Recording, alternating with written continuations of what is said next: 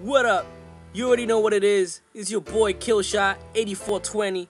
You already know, man. The PS4 hype right now is crazy all over the internet. We're about to get into this quick video of them unveiling the DualShock 4 for the PS4. So let's get right to it, man. Yeah.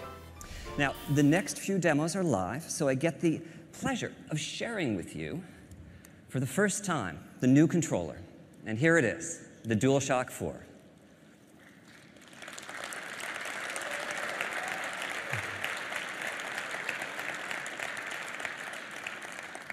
Thank you.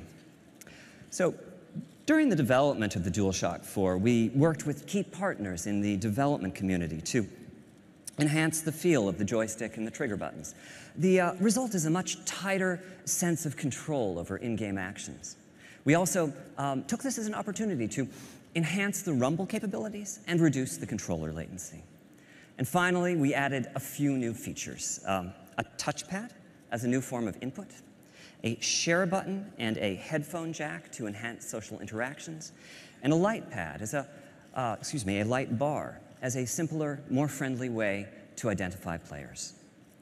And this new controller was designed in tandem with a second peripheral, a stereo camera that can sense the depth of the environment in front of it and track the 3D position of the controller via its light bar.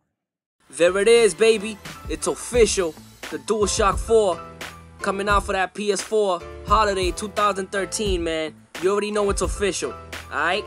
So if you guys like the video, make sure you thumbs up, make sure you subscribe, and make sure you keep it locked right here with Beast Mode Gaming Entertainment. We got more videos coming for you guys. You already know, man. The hype is crazy all over the net right now. You already know who this is, man. It's your boy, Killshot. Rap. Fuck out of here.